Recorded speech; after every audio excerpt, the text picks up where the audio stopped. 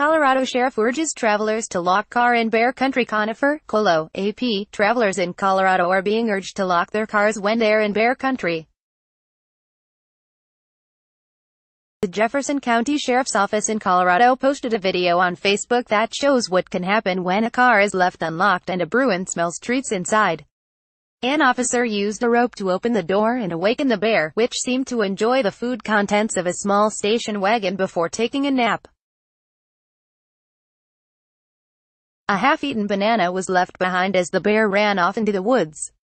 The sheriff's office wrote it's positively sure locking the door reduces the chances of losing important items and having a vehicle trashed. Copyright Copyright 2018 The Associated Press All rights reserved. This material may not be published, broadcast, written or redistributed.